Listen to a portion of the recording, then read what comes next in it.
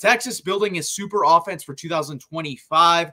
So Dakorien Moore decommits from LSU. He is the number one wide receiver recruit in next year's class. He is the third best player according to 247 Sports. In my opinion, I think they do the best job. On3 does a very good job as well. I completely ignore ESPN's rankings. I think they're terrible.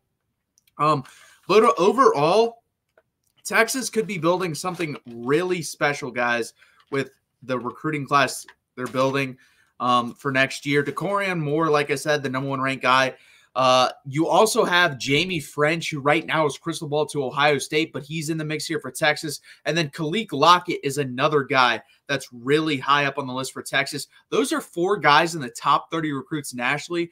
Those are three out of the four best wide receivers in the country. And I all believe, and I believe Texas is going to be there for down to the bottom five or top five for all these guys. I think Dakorien Moore has been crystal ball by three different people to Texas. I would be shocked at this point if he doesn't go to Texas. Like I said, the number one recruit in the country. His comp is Chris Olave, so that's something that Steve Sarkisian would love to have a smaller guy, but a great run route runner, great agility. Um, something we haven't had here on the 40 acres in a long time. He would also be the highest rated recruit Texas has got at the wide receiver position in over a decade. The last guy that we got that was this highly rated was Mike Davis, who turned out to be a good player, but he was never a great player for Texas. I don't even think he made the NFL. Overall, kind of a disappointment. Uh, Mike Davis was, but he is the highest rated recruit in the history of Texas football. If Dakorien Moore does commit to Texas and play for Texas, he'll be the highest, second highest rated recruit ever. That's ahead of someone like Roy Williams, who probably is regarded, I shouldn't say probably, is regarded as the best wide receiver in the history of Texas football. Um, and then I believe all three of these guys actually might be ranked.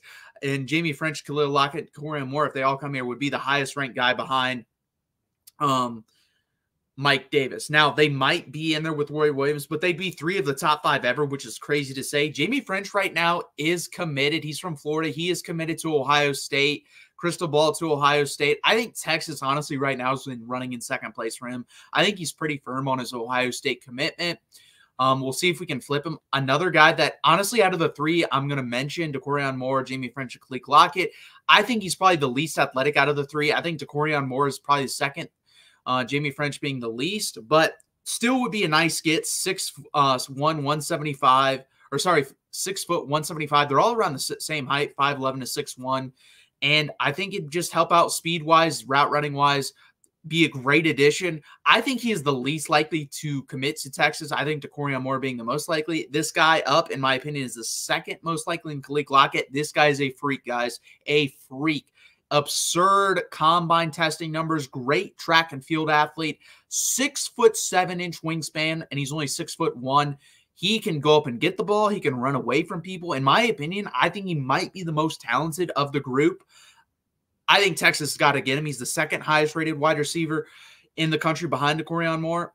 And I think he's special. I think to me, would not shock me by the end of the year if he's number one with his senior season coming up. I think he's a freak. Someone that can run like that and jump like that is very rare. Those guys are usually are you usually don't come along very often. And usually it's one or the other. Usually you have a jump ball guy or you have a track guy. This guy is both. He can do both. He is a special special player. If texas can land two out of three of these guys and then you have Johntay cook coming back ryan wingo will be here unless matthew golden has a great year he'll uh, like a really good year like first or second round type pick i think he'll be back silas bolden will probably be back this can be a special, special room with Arch Manning coming in at quarterback. Are you kidding me? This is the type of offense that Alabama had a couple years ago under Steve Sarkisian when he was the offensive coordinator, where you had a great quarterback. You're going four to six, like real depth wise at wide receiver, where these guys will play in the NFL. That's what we're almost building here. If you can get two out of three of these guys, if we get three out of three, I think we've overtaken Ohio State in recent years of deepest wide receiver room if we get all three. I think two, it's still a debate, but three for sure.